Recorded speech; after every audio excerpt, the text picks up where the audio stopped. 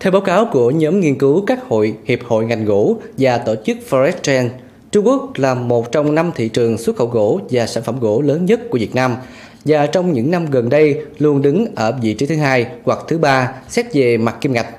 Xuất khẩu gỗ của Việt Nam sang Trung Quốc chiếm 10 đến 12% tổng giá trị xuất khẩu gỗ của Việt Nam. Việt Nam chủ yếu xuất khẩu gỗ nguyên liệu HS44 sang Trung Quốc với hơn 20 sản phẩm.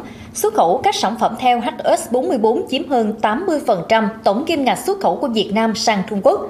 Trong đó, gỗ dăm chiếm tỷ trọng lớn trong tổng kim ngạch xuất khẩu hàng năm của Việt Nam sang Trung Quốc.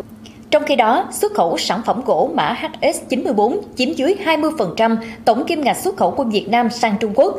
Năm 2021, Việt Nam đã xuất khẩu hơn 14 tỷ đô la sản phẩm gỗ, trong đó xuất khẩu sang thị trường Trung Quốc là 1 tỷ 490 triệu đô la với sự tham gia của hơn 500 doanh nghiệp.